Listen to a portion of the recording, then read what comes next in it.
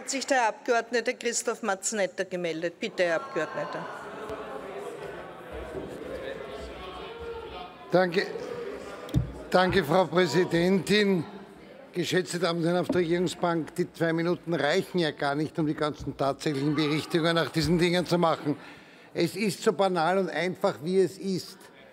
Wenn man in einen Markt regulierend eingreift, dann ist es nicht erlaubt, über ein gewisses Ausmaß mit den Preisen hinauszugehen. Ganz einfach. Und es gab Regierungen in diesem Land, die diese Verantwortung getragen haben. Und ich habe es vorher gesagt, übrigens unter der Führung von ÖVP-Bundeskanzlern. Zu Recht und richtig. Und hören Sie bitte auf, Kollege Ottenschläger. Wenn vernünftige Vorschläge kommen, dass die Leute sich leisten können, Gas, Strom, Heizen, dann sollten Sie es unterstützen und erzählen, ja, das funktioniert dann alles nicht und in der Spanien ist was passiert.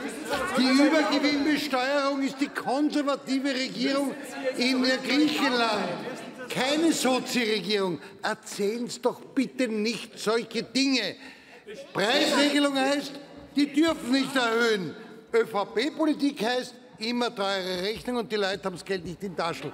Und noch was, Herr Kollege Ottenschläger, die Milliardengewinne der Aktionäre dort kommen nicht von irgendwer.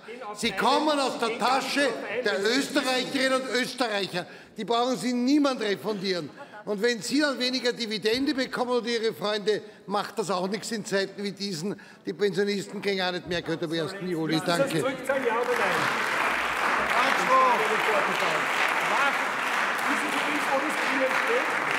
Zum dringlichen Antrag ist nun niemand mehr gemeldet.